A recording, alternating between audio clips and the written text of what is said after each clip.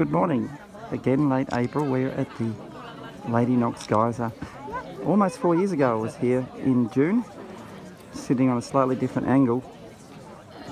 In about 10 minutes' time, we'll start a commentary where there'll be a gentleman who will go out there and explain what this is all about and the history of the area, why it's called the Lady Knox Geyser, and he will put some surfactant, some environmentally friendly surfactant in the geyser to set it off for the tourists.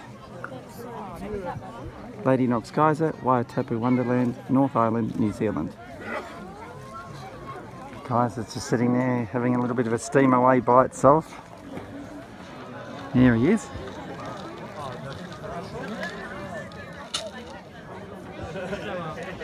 Good morning everyone and welcome to Wai-O-Tapu Thermal Wonderland. My name's Daniel and I've got the privilege of this morning of explaining the geyser to you this morning. Now just before I go, over, go into the main speech about the geyser, I'm just going to quickly go over a few little safety notes for everyone. Now for people that are heading back to the park after seeing the geyser eruption, when you are walking around the park, it is really important for everyone just to stay on the formed pathways at all times. It's just for your own safety because it is a very active geothermal park. And it's also a good idea just to check that you've got appropriate footwear on as well before heading through the park as well. Okay, so the first thing I'll sort of cover off on first is geysers in general. Now, to see a geyser eruption, it is quite tricky because there's only a few places in the world you can actually see geysers erupt. Of course, here in New Zealand, also in the United States and Russia, and also remote places in Iceland as well. Now, back in the 1800s, in the Taupo region, there was estimated to be about 130 geysers scattered throughout the area. But by the 1970s, the number had dropped down to 15 geysers in the area. Now, the reason why there was a drop in number of geysers throughout the Taupo district was through natural occurrences, but also man-made interference as well. But luckily right here at Wai-O-Tapu has been a very strong and active geyser field. How our main geyser here sort of first came about was back in 1901. Now back then, New Zealand decided to build its first open prison. And they decided to build the prison right here at Wai-O-Tapu. The prison was actually just built just on the other side of the main car park here. Now when this prison was built, its main objectives were to bring all the prisoners from the jails of the Rotorua Lake District. So all the prisoners came out to Wai-O-Tapu here, and when they came out here, they were also told they had to work off their time as well. So most of the prisoners were employed to cut the light bush and shrub to make way for the roads and also the planting of the pine trees for the Kaingaroa forest as well.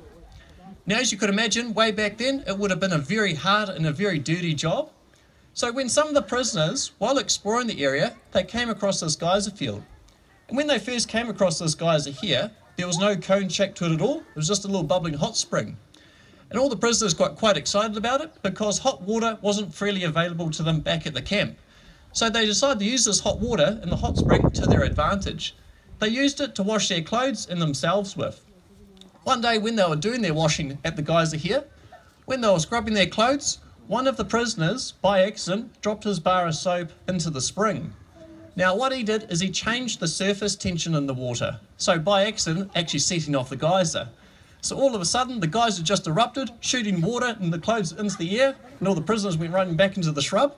It's quite an effective washing machine and dryer at the same time as well. It's pretty cool.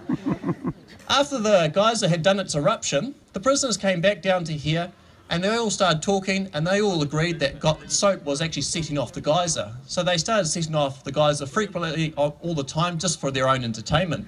Hmm. Now, some of the prisoners also decided to place rocks around the base of the spring to enhance the geyser eruption.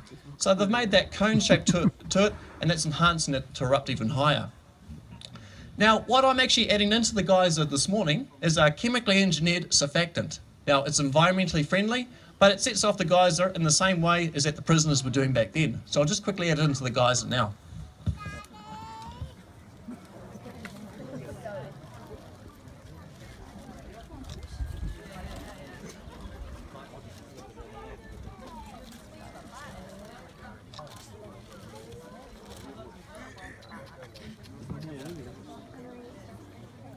Mother Nature now decides. So the geyser would naturally erupt on its own without me adding any surfactant to the geyser. But the geyser's natural eruption cycle would be anywhere between 24 hours to 72 hours. So yes, the geyser does go off on its own, but just anywhere between those times, and we wouldn't know when. So the only reason why we add the surfactant to it is so you guys can come and see the geyser erupt. So what's actually happening underneath the geyser here, just below my feet, there is a large cool chamber of water. Now, below that, there's also a hot chamber of water. Now, that hot chamber of water is oh, reaching temperatures over 150 Celsius. So what's actually stopping that boiling water just erupting out of the geyser is that cooler water that's a little bit above it, and that cooler water is around about 90 Celsius. What the surfactant is doing right now is it's breaking the surface tension in that cooler water. So the cooler water is now starting to mix in with that hot water. And when you get those two different temperatures of water meeting, the water turns into steam and expands. And it just keeps expanding and pressurizing and building up the pressure, and then eventually the geyser will just suddenly erupt. When the geyser does erupt, it can reach up to heights of 20 meters, and the eruption is also known to last up to an hour as well. Both chambers of water hold about 27,000 litres of water, so there is a fair bit of water just underneath the ground just here. Also in this water source, it's very rich in a mineral called silica. Now silica is a mineral that you'll find in every rock anywhere around the world, it's on every sandy beach, and in this water source it's very rich in silica. So when the geyser erupts, it deposits the mineral silica around the geyser. So that's what's given it the white cone-shaped appearance. Now, the geyser is named after Lady Constance Knox. She was the daughter of Lord Ranfurly. Lord Ranfurly was the 15th Governor of New Zealand back in 1903, and part of his job was to inspect all prisons throughout New Zealand. Uh, so when he came out to the one here at Wai-O-Tapu to do an inspection, he decided to bring his family along as well because they heard about the geyser. After they'd done an inspection, they came down here to do a bit of a photo shoot and to set off the geyser. And um, Lord Ranfurly gave the privilege to his daughter, Lady Constance Knox, to set off the geyser. She set it off, and then it just got christened there onwards as the Lady Knox geyser. So, um, so there you go, guys. The guys are just away now. So if you've got any questions, please feel free to come and see me afterwards. Um, about any questions about the guys or about the park. But apart from that, guys, I hope you enjoy your day here with us at Wai-O-Tapu Thermal Wonderland. And thank you so much, guys.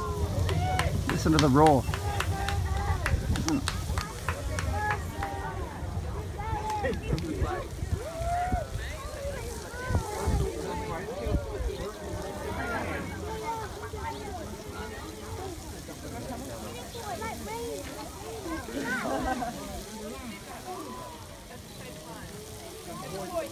The wind's obviously swung around, so I still hear the hissing away. It's now some minutes after the guys that were set off, the tourists are dispersing, so we're up on the upper level nearer where we were four years ago, and it's still going. And reasonably strong. For a while there, it actually looked as if it was getting taller into the air. Certainly constant flow of steam and water coming out of there.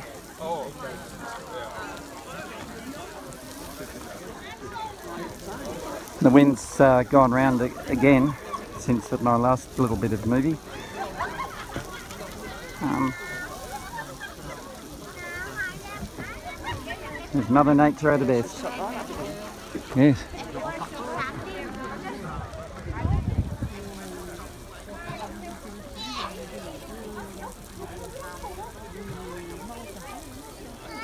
And that ends our visit to the Lady Knox Geyser, Wai-O-Tapu Wonderland, New Zealand.